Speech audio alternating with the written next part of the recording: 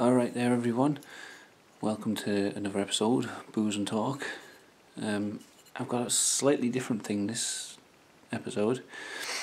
I've had these sitting around for months, well since my birthday I think it was, in March, so um, this is what my fiance bought me for my birthday. And um, I was kind of waiting for a special occasion to try them, and uh, I don't really have special occasions in my life, so I just do them for one of these videos because I, I really want to drink them and I haven't yet had an opportunity, so I thought I'll just do them for a booze, booze and talk video. It'll be interesting and uh, yeah, I, I just feel like drinking these now. Um, so it's called, see if I can get it on camera, Owl's Brew. Shout out to Phil, Sleepy Owl. Um, tea crafted for cocktails, so it's basically a tea for mixing with booze. I should do these for my tea review really, shouldn't I? But um, I can't can't decide whether to do a tea review or a booze and talk video because it kind of combines the two things. Um, it's white and vine, a blend of white tea, pomegranate, lemon peel, and watermelon. White tea's clean, light flavour notes paired with a refreshing watermelon. So this has got no alcohol in. Um, but let's have a look. Here we go. How to drink wise. Please focus camera. There we go. What can I pair with white and vine? Um, tequila, vodka, gin, or wheat beer. So you can mix it with uh, spirits or a beer, and it'll affect the taste. Mixing with spirits, two parts brew to one part booze, over ice and stirred. Oh, I haven't got ice. Wait, I have. Right, sorry about this, because I don't like editing my videos, you're just going to look at a blank screen for one second while I go and see if I've got some ice. Please bear with me. You can enjoy looking at the mess on my table there.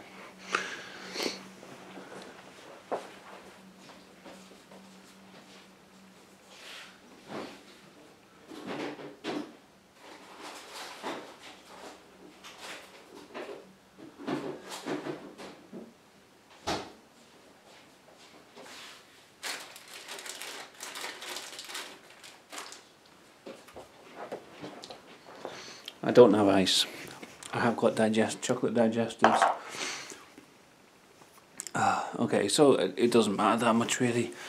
I don't think. I'm just going to try it without the ice. Um, but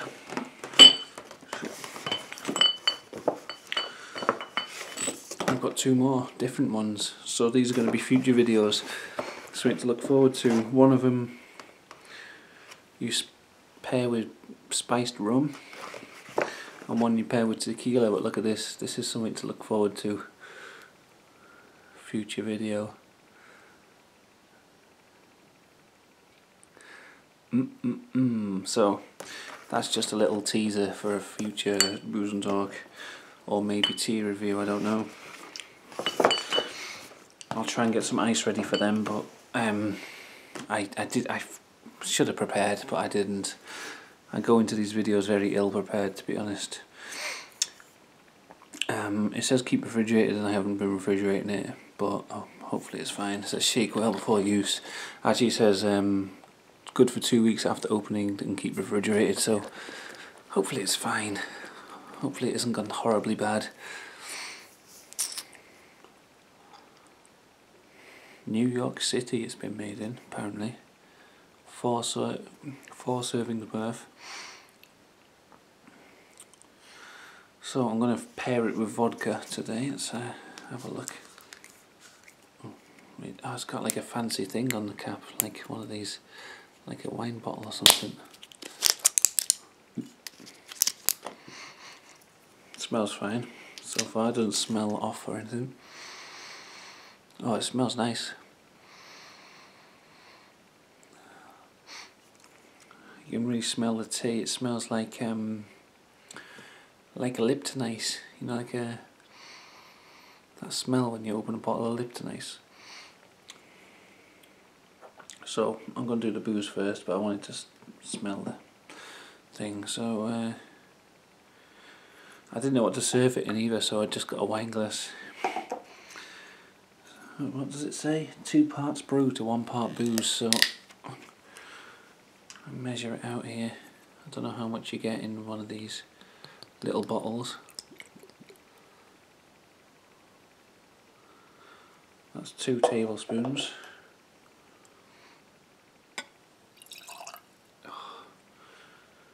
See how much it is. It probably says on there, doesn't it? Okay, so that's three tablespoons. So if I put six tablespoons of the brew, the tea in there, that should be right then. Oh, it smells good. What was it? Pomegranate. I say? I can't remember what it said. I don't know. White tea, pomegranate, lemon peel, and watermelon. I love watermelon flavoured things. Okay, so six tablespoons. I said, didn't I? Yeah.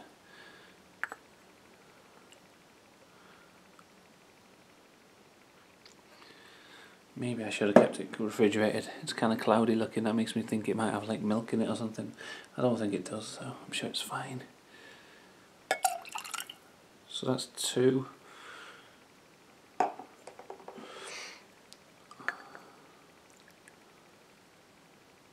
Oop, a little bit more there, but it doesn't matter. It's like I'm actually making a cocktail or something, a proper one. Four. I should have got some ice for this. I bet it would have been well nicer with ice. Okay, that's six.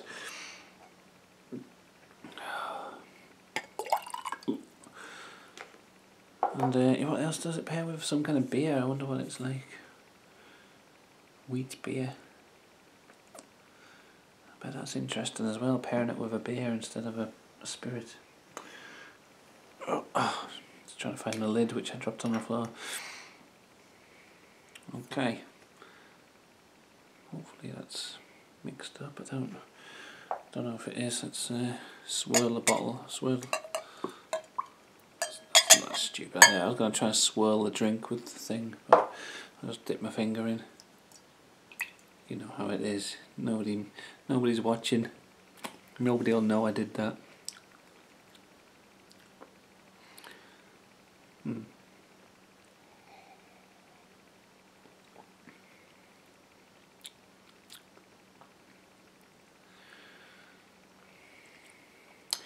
The first taste I had, I thought it tasted like like it had gone off, but the reason why is because I was somehow because I'm doing a booze and talk video, I was, I was half expecting it to taste like beer, and it just you can taste the lemon peel, and so I got that sour lemon peel taste, and I thought, oh, it's gone off, thinking in my head like like it's a beer, but it's really not. But I imagine if it made your beer taste like that, you wouldn't like it that much. So it seems strange that you could pair that with a beer.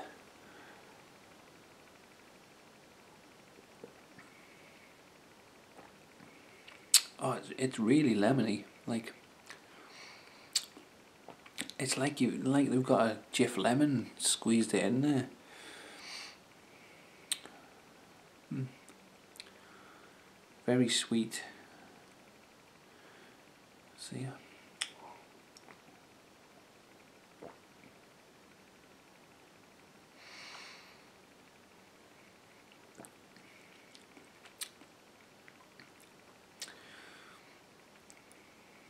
Yeah, it's. I, I kind of wish I had a bit of ice to put in this now. It might have made the flavours a bit more subtle because it's very um like punchy. Like the lemon is really like.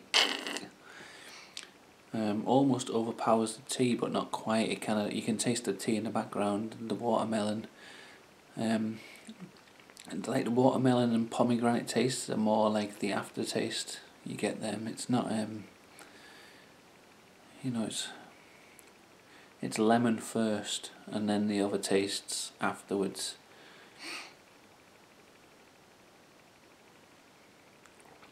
I'm just going to try a little sip of this without the uh, without the vod vodka in it, just to see. Just a little sip.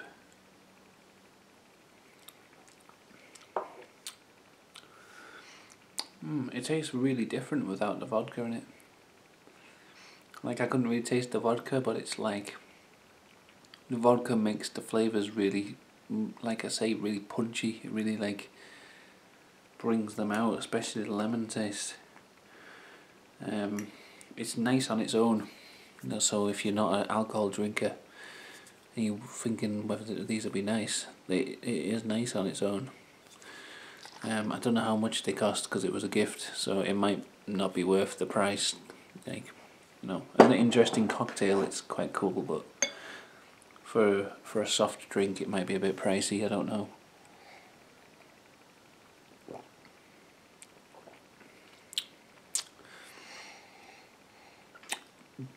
You can really smell the tea, but um, the taste like you can taste it if you think about it like oh I can taste the tea but it's not like someone give it to you and you just drank it you won't go oh that's tea you know what I mean? Like when you smell it you can sort of tell because it smells a bit like that like Lipton ice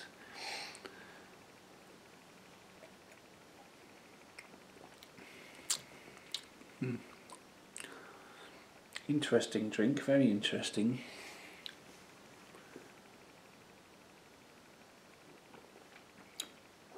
haven't got uh, anything like happening in my life to talk about um, because I've just been doing nothing, working and stuff.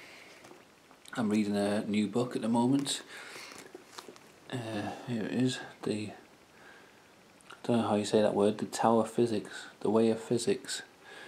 Uh, an exploration of the parallels between modern physics and Eastern mysticism. This this subject in particular has always interested me because I don't know a lot about um, quantum physics, but like it's hard to wrap your head around that subject. But what I've heard of it, it always made me think of like what people have been saying throughout the years, like the ancient teachings and the you know this um like Buddhism and stuff, and the the way they say like everything's connected in some way.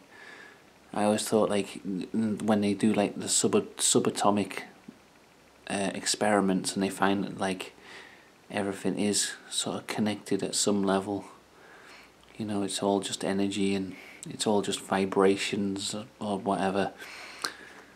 Obviously you can tell from the way I'm talking about it I don't know much about physics but um, hopefully this will teach me more. I don't know a lot about either either subject physics or Eastern mysticism but the idea of the two being linked is something that has always interested me so yeah that's why I picked this book up. Seemed interesting.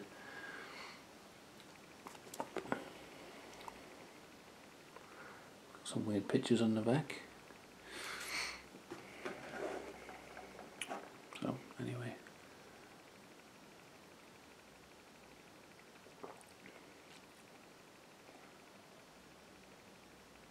Hmm. I'm getting more than more of the pomegranate now, actually.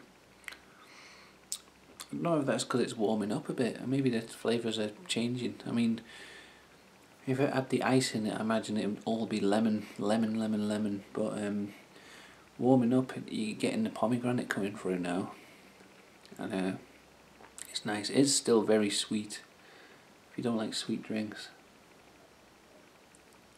But, uh, mm another thing I found while I was, I, well, I've been looking around my house. I've been um, really like I felt like a real like writer's block for making videos. Um, really like what's it called? I don't know what the video equivalent is of a writer's block, but like a a creativity block, and I was just sort of going all over my house, like in cupboards and things, just looking for something that would like give me an idea or something, and. Uh, this didn't give me an idea, but I, I found my, I think I did a video about this on my old channel like years and years and years ago, so most people wouldn't have seen it. And this isn't my whole collection, but it's a small bit of it, and I found it funny to look through. It's um all my DIY uh, weird records. These are all noise and strange music that um made by independent labels or just made by the artists themselves. Um, I really, at one point in my life, was really into trading for these sort of things, and it's all um, it's all records, well CDs basically, but who are like most of them have like been recorded and burnt and they've made all the artwork themselves, like the artists, and that's what I like about them most of all is the uh, the um, sort of way it's made by the people who made the music as well. You know what I mean? Or at least by someone who, like, probably their mate who runs a, a small record label or something. Um, some of them are really interesting with the packaging. Here's one that's kind of wrapped up piece of leather inside.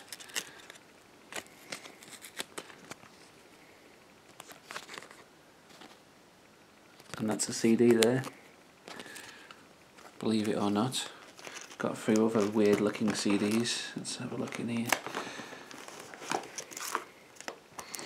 Um, yeah, I, I haven't bought any new records for years like this because um, I used to trade my own music that I used to make um, and I stopped making music because I got a real like I don't know I started making videos and found that more interesting here's a, a record that they packaged with broken glass for some reason when I say record I mean CD most of these are CDs I've got I've got another collection upstairs of cassette tapes as well um, I've even got one on um, a, floppy disk um, where's the one? I found one. Oh yeah, this is it. Look at this. It's a, a, a credit card kind of disc. I, ran my own record label for a short while called Hollyoaks Records. There's the, the logo for it. I think I had a MySpace page and uh, this is all like the artwork and stuff I made for it.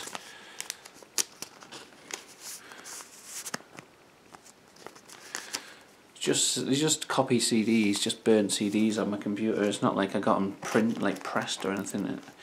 Um, but yeah, I kind of want to start making music again, just so I have something of a trade. Because surely people must still make this kind of stuff.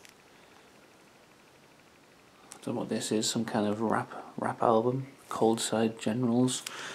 I'm trying to find something interesting in here, like some good artwork or something.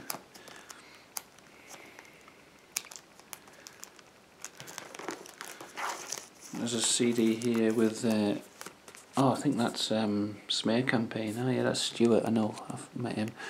Um, a, lipstick kiss on every CD, probably of the artist himself or someone he knows wearing lipstick, kissing each CD, sending them out into the world.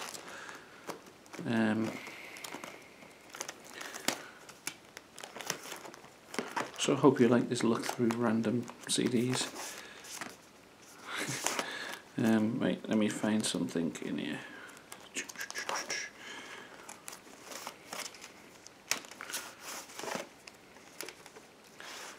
Mike Love 666. Rare, rare shit this. I don't know. I've got so many in here that I, I would have to do like a separate video on them. But I found them the other day and I thought, ah oh, man, look at this shit. God knows. God knows what that is. Um, there's a record that I released myself, and it was um, a, a, cassette tape I bought at a charity shop for. I wanted a blank tape to record onto. Had these guys rapping on it, so I, I put the rap.